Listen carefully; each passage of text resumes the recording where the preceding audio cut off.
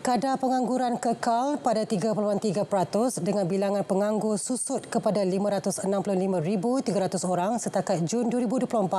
Menurut Ketua Perangkawan, Datuk Seri Dr. Muhammad Uzi Mahidin, kedudukan tenaga buruh negara kekal dalam tren pertumbuhan positif didorong peningkatan dalam bilangan penduduk bekerja.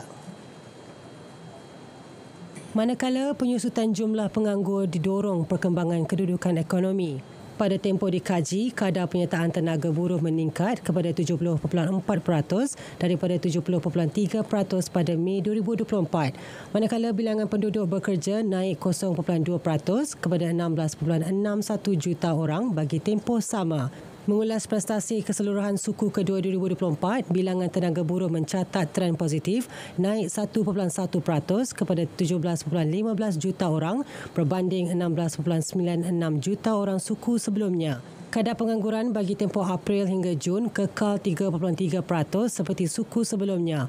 Prospek pasaran buruh negara dijangka terus stabil didorong kedudukan ekonomi yang memberangsangkan.